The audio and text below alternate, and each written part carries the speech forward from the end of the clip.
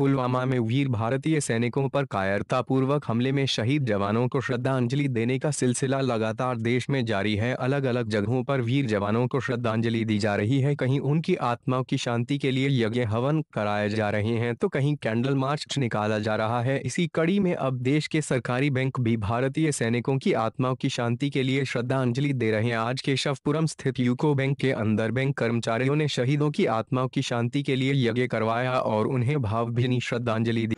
इसमें जो हमारे 40 जवान शहीद हुए हम उनको श्रद्धांजलि अर्पित करते, करने हेतु आज UCO bank Vishali Pitampura branch ने एक यज्ञ का आयोजन किया।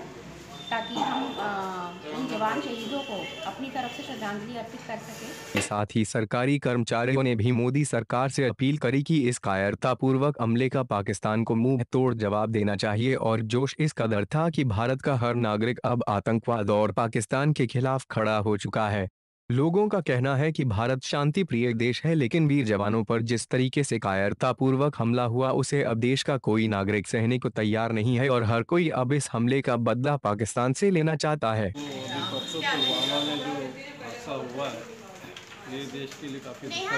है। सभी के लिए है। हम इसमें जो है जो कुछ भी हम वैसे खुद को कुछ नहीं कर सकते लेकिन जो भी हम अपनी तरफ़ से कर सकते हैं उसी के लिए आगे यज्ञ हमने रखवाया है न सिर्फ़ सरकारी कर्मचारी बल्कि लोगों के अंदर इस कदर उत्साह है कि अस्पतालों में भर्ती मरीज़ भी बीमार होने के बावजूद पाकिस्तान से बदला लेने का मन बना चुके हैं और उनका खून भी उबाल माच रहा है कि जल्द से जल्द भारत सरकार पाकिस्तान को इस हमले का जवाब दे। देश के कोने कोने से भी जवानों को श्रद्धांजलि देने और भारत सरकार से पाकिस्तान के खिलाफ कार्रवाई करने की मांग की जा रही है, लोगों का धैर्य टूट रहा है और इस जिस तरीके से भी जवानों की शहादत हुई है, लोग जल्द से जल्द पाकिस्तान को मुँह तोड़ जवाब देना चाहता है और अब देखना यह होगा कि भारत सरकार इस हमले के खिलाफ क्या कुछ कदम उठाती है। अपना नाम जोगिंदर खट्टर।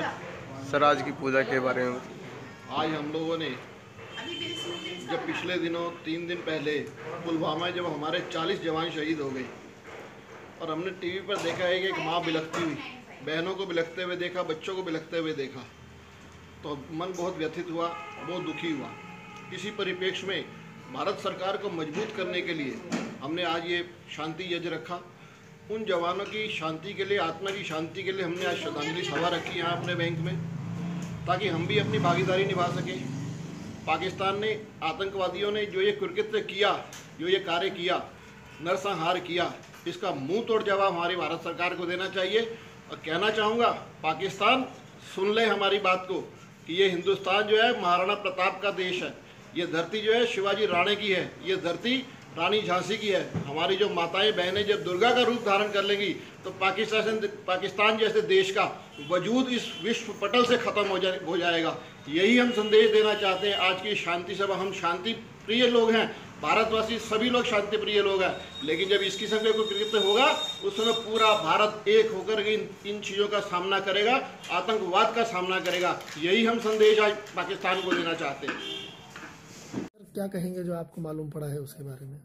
मुझे जब से ये पता लगा है कि हमारे भारतीय सैनिकों पर पाकिस्तान ने नामर्दों वाली हरकत की है, उससे मैं बहुत दुखी हूँ, अंदर मन से दुखी हूँ। और मेरी ये आकांक्षा है कि भारत सरकार इस घटना का इतना प्रतिरोध दे, इसका बदला ले। ताकि पाकिस्तान फिर दोबारा ये हरकत करने की हिम्मत न जुटा सके। मैं वीर शहीद सैनिक, शहीद सैनिकों का, को नमन करता हूँ, श्रद्धांजलि देता हूँ और भारत सरकार से अपेक्षा रखता हूँ कि शीघ्र अतिशीघ्र